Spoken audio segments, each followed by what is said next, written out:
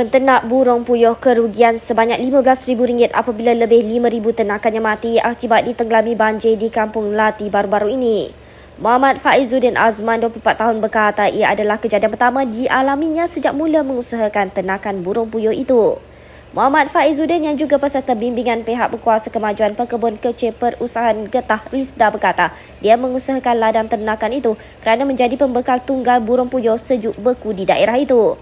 Menurutnya, dia terpaksa menyembelih ribuan ekor burung pada hari yang sama untuk mengelakkannya daripada mati dan dibuang begitu saja.